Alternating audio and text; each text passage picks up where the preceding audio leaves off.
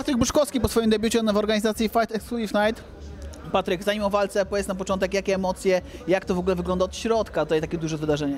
On naprawdę wspaniałe przeżycie takie, które się będzie pamiętać do, do końca życia, nie ma co ukrywać. Po pierwsze, e, wczoraj super na oficjalnym ważeniu, już świetny taki namiastka tego, co dzisiaj się wydarzyło, no i tu wyjście przed tą publicznością, muzyka, światło, naprawdę no, poziom światowy, no nie ma co mówić, no jedna z największych organizacji w Europie, no robi wrażenie. Powiedzmy, jak dla mnie e, debiut na takiej większej organizacji w semi-pro, no mało kto ma taką okazję. No i z jednej strony to wiadomo wspaniałe przeżycie, ale też taka broń obusieczna, bo naprawdę poziom stresu przy wyjściu, przy wszystkim jak się usłyszało, e, też na pewno zrobił swoje. Tlenu dużo odebrało, e, spięło mięśnie, ale, no, ale myślę, że wszystko im plus ogólnie. No właśnie, człowiek chyba tak myśli sobie, kurczę, po to to robię, żeby w takich eventach brać udział, po to trenujemy, po to właśnie walczymy, żeby, żeby w takich miejscach właśnie być. No tak, myślę, że to marzenie każdego chłopaka, który zaczyna jakieś e, treningi sportu walki, który nawet e, nie planuje powiedzmy zawodowo z tym jakoś wiązać w przeszłości, bo ja nie ukrywam, że e, nie planuję jakoś e, zawodowej kariery, e, jakieś 20-30 walk MMA, ale zawsze powiedzmy chciałem raz na jakiś czas może zawalczyć, raz na rok, raz na jakiś e, czas powiedzmy, bo to lubię. E, moim głównym e, pasją sportową jest jiu-jitsu, tu się realizuję sportowo i no i mam nadzieję, że na raz na jakiś czas na takim evencie będzie naprawdę świetnym przeżyciem e, zawalczyć. Mm? No właśnie, Patryk, mówiłeś, mówisz o tym jiu-jitsu i faktycznie widać było, że taki był plan na dzisiejszą walkę, prawda? Powiedz mi, tak z perspektywy swojej tylko, ty jesteś z siebie zadowolony dzisiaj? E, powiem tak, e, moim zdaniem e, w moim MMA jest za mało MMA. Ja mam powiedzmy każdą płaszczyznę, zaczynam od kickboxingu, mam jakiś tam kickboxing, potem jiu-jitsu, mam zapasy, mam jiu-jitsu, tylko moim zdaniem, z mojej perspektywy, e, każda płaszczyzna nie jest dostosowana do MMA.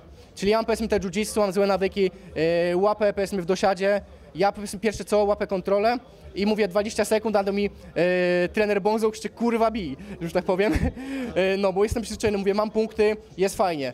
E, w stójce też zapasy jakieś tam pod jiu wiadomo są inne, e, bardziej schwytów, bardziej takie z bliskiego kontaktu, ale mówię, no to wszystko jest do doszlifowania. Tak naprawdę szykowałem się pod MMA, e, miałem przerwę no, około 3 lat od startów i teraz przez 3 lata praktycznie samo jiu i teraz dwa miesiące do walki z Igorem Brzozowskim. Yy, No i po prostu moim zdaniem zabrakło tego, że te płaszczyzny były niedostosowane pod MMA.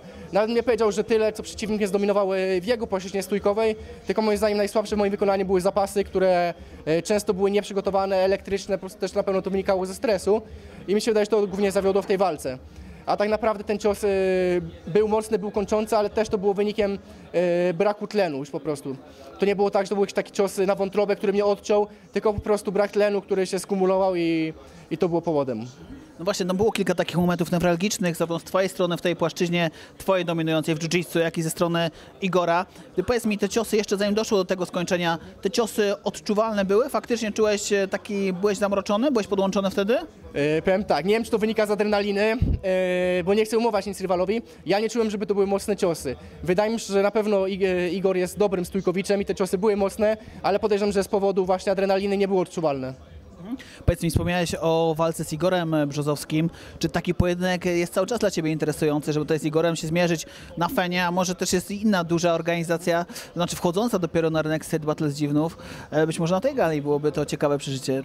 E, No, to też była świetna organizacja e, w nadmorskim klimacie, jak najbardziej mówię. Ja nie planuję żadnej zawodowej kariery, jak będzie okazja, jak będzie jakaś propozycja, możemy przemyśleć, żebym wiedział odpowiednio wcześniej, bym mógł się przygotować i, i możemy o wszystkim rozmawiać, mówię no. Patryk Buczkowski, bardzo dziękuję Patryk. Dziękuję bardzo, pozdrawiam wszystkich.